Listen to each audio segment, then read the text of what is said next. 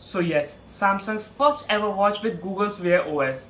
Hey guys, welcome back to my YouTube channel. Welcome back into another video. It's your Karan 005 here and recently Samsung launched its latest version of Galaxy Watch. In this video, we will be un uh, unboxing and checking out the Galaxy Watch 4's classic version and I will be giving you my first impressions of the device. So without wasting any time, let's dive into this video.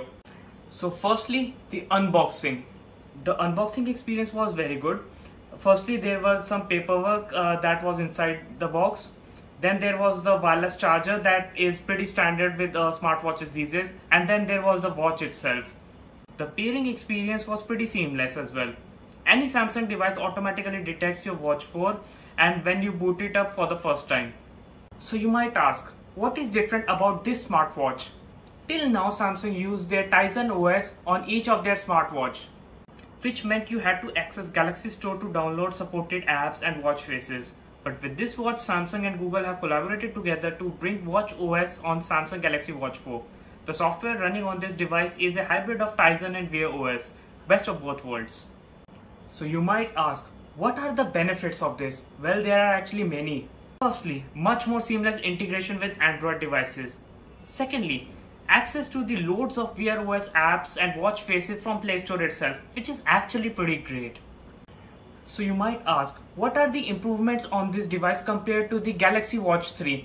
As some of you might know, I've been using a Galaxy Watch 3 since past one year and I want to discuss what are the improvements since the last iteration for this device.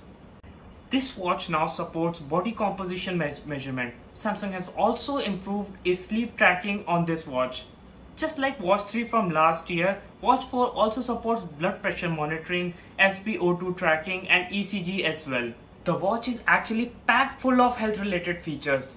But do note that availability of the, some of the mentioned features might not be available in some countries and regions. So please keep that in mind. I will be checking out these health related features in the coming days so be sure to subscribe to the channel. Really like the design of this device. The buttons are much bigger than the Watch 3 from last year. The rotating bezel is still there, which helps in uh, real, which really helps in interacting with the watch. And then there is the strap. I really did like the strap from the Watch 3, which uh, which was a leather one. That strap uh, uh got worn out pretty easily, but this strap, the silicone strap uh, that comes with this device, is actually pretty good. So now let's talk about performance of this device. Samsung claims to have an improvement of 20% in normal performance and 10% improvement in GPU performance thanks to its new processor.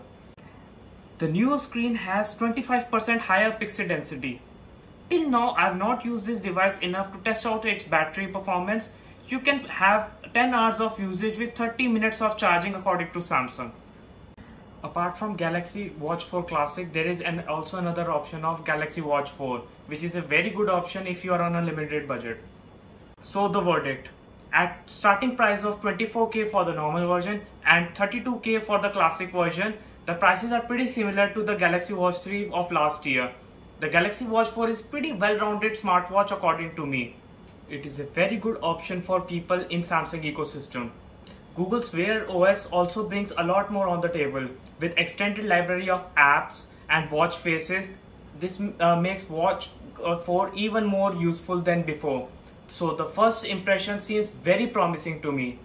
So that was my first impression about Galaxy Watch 4 Classic. I hope you liked it. Please share your thoughts down in the comments below.